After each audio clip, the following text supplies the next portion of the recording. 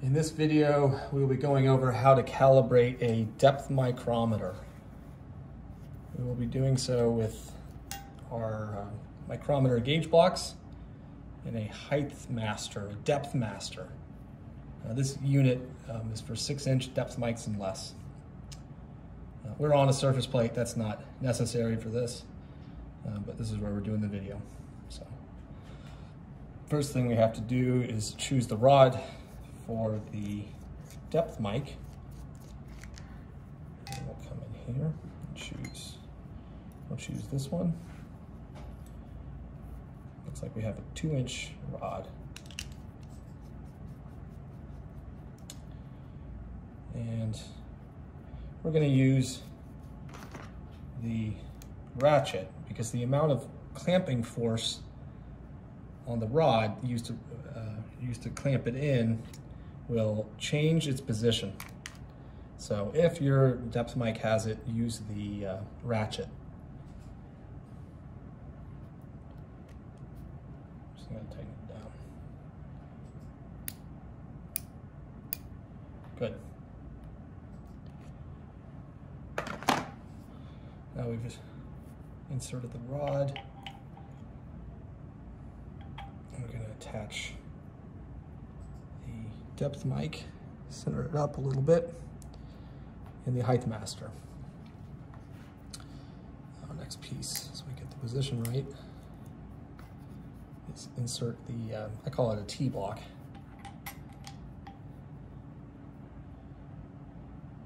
This is uh, an adjustable gauge block that splits these feet. I'm gonna come all the way down and test it out.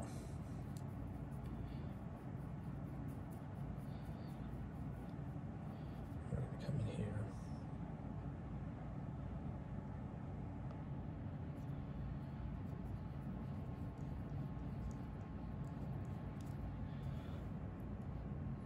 And check our zero.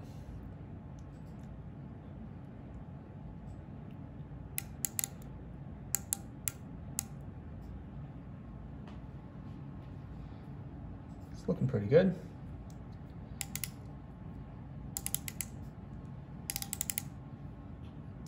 So that's actually a full one inch extension. And we will begin to retract from here.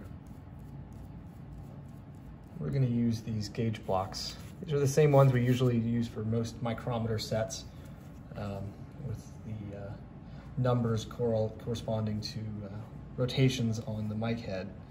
So the first block we use is a 210. Uh, but this is interesting because it's a full one inch of extension. Subtracted from 210 is 790. So the value we're expecting is 790. And I'm gonna come down. And just a little, little short. Perfect, looking good. All right, gonna keep retracting. I should have held this down during it.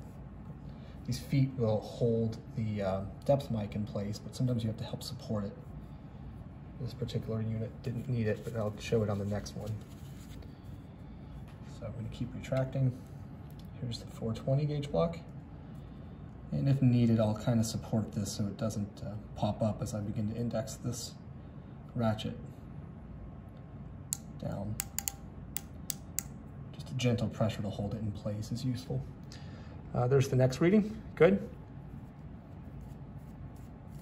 And these mics uh, don't have uh, vernier readings, they just read in 1000, so it doesn't actually have any other indications on it.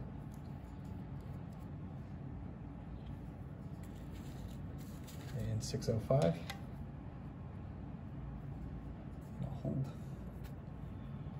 I'm gonna get that centered. And slowly approach the final reading. good.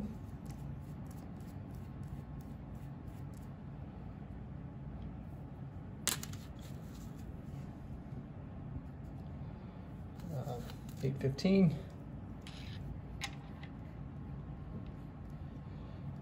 We'll come down.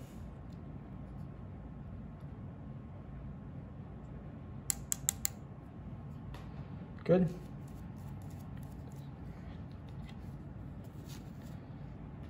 And for the full one, we get the option to either insert a gauge block or shim up the uh, this gauge block up to the next level. Gives you the same answer. Both are just as accurate. We'll slowly approach zero. Good. And there you have how to calibrate a depth micrometer using the Depth Master.